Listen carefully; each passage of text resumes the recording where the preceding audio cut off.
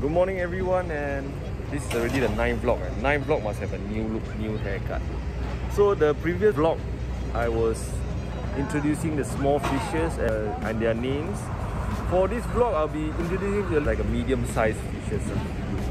So you get to know more fishes. Alright, so let's take a look at them.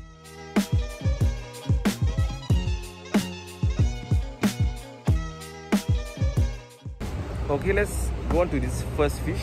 In English, it's called tilapia. In uh, Malay, we call it ikan tilapia or ikan dipun. So this is very commonly uh, eaten by the Filipinos and it, it's actually considered as the Filipino, their national dish. Uh, they usually cook in a way whereby they barbecue it, put a layer of salt and they have it barbecue or they just have uh, stir fried it in their gravy. Moving on to the second fish, this is called, in English, it's called the golden banded jobfish. And in Malay, we call it ikan krisi. This fish, very common one. Sometimes in coffee shop, you see the what uh, their advertisement, they got the fish head curry uh, offer. Uh, they usually use this fish head. And this for this fish in my hand is, is a very medium sized one. Uh, zicha, they usually use a more bigger one.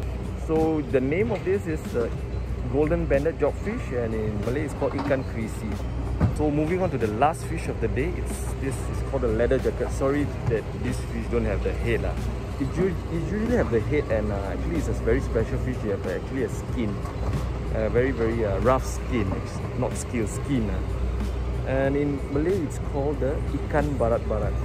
This fish uh, is very nice if you take it to fry.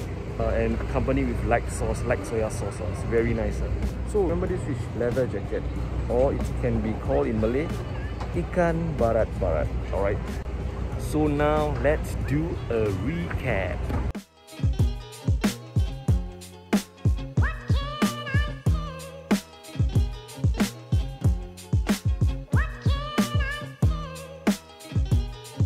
So I've come to the end of my vlog and I hope you learned a thing or two on the medium fishes today. So the most important thing you must know is the name first. You don't know the name, how you're going to buy? Alright, and some of the characteristics and how people actually go about cooking these kind of fishes. And for the upcoming vlog, I'll be trying to showcase to you guys uh, on the commonly found fishes in Singapore market.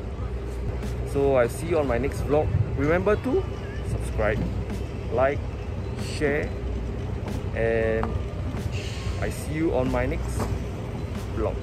Goodbye.